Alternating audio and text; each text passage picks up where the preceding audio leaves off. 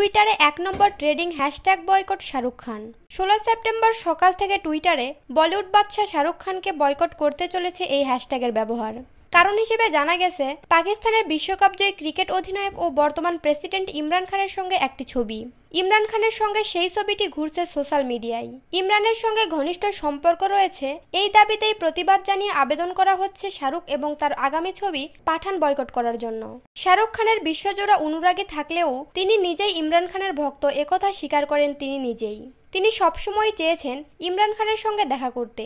যদিও ইমরান খানের সঙ্গে তার প্রথম সাক্ষাৎকার খুব সহজ ছিল না বলেই জানান তিনি। ইমরানের একটি অটোগ্রাফ চাওয়াই তিনি রেগে যান, কারণ সেদিন খেলায় খুব একটা রান করতে পারেননি তিনি। এদিকে ইমরানকে পছন্দ করেন না ভারতীয়রা। সম্প্রতি তালেবান আফগানিস্তানের শাসন ক্ষমতা দখল করার পর সেই অপছন্দের মাত্রা তীব্র হয়েছে আরও। পাকিস্তানের গোয়েন্দা সংস্থা পানশির উপত্যকায় তালেবানের লড়াইয়ে সাহায্য করেছে এবং আইএসের ডিরেক্টরের উপস্থিতিতে তালেবানের সরকারে কারা থাকবেন সেই সংক্রান্ত সিদ্ধান্ত নেওয়া হয়েছে বলে অভিযোগ। পাকিস্তানের এই অবস্থান তাদের ভারত বিরোধী অবস্থানকে আরও শক্তিশালী করবে বলেই সকলের অনুমান। ভারতীয়রা মনে করেন, ইমরানের জন্যই তালেবানরা আফগানিস্তান দখলে নিয়েছে।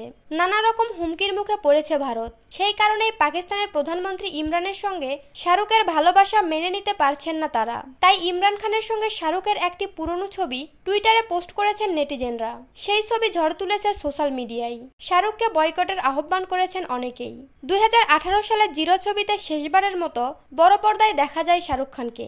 বক্স অফিসে খুব একটা সাফল্যের মুখ দেখেনি সেই ছবি। আবার দু হাজার বাইশ সালে যশরাজের ব্যানারে আসতে চলেছে তার পরবর্তী সিনেমা পাঠান। এবার সেই সিনেমায় বয়কটের ডাক দিয়েছে নেটিজেনরা। এ বিষয়ে অবশ্য এখনও কোনো মন্তব্য করেননি শাহরুখ খান। আশামণি পুন্ড নিউজ।